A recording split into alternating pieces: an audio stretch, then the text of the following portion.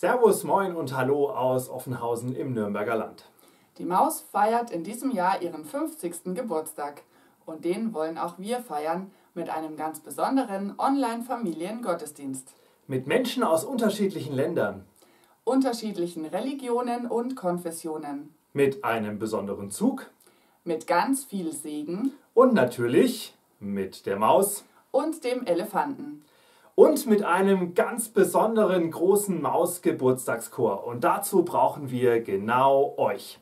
Wir laden euch ein. Singt für die Maus zum Geburtstag. Wie schön, dass du geboren bist. Tut euch zusammen in der Familie oder allein oder mit Freunden, mit Instrument oder auch ohne. Singt für die Maus. Egal ob zwei oder drei Strophen, egal ob gerade oder vielleicht auch mal schief, laut oder leise, jung oder alt. Singt für uns, nehmt es auf als ein Video und schickt es an uns. Per Mail oder per WhatsApp. Einsendeschluss ist der 28. Februar.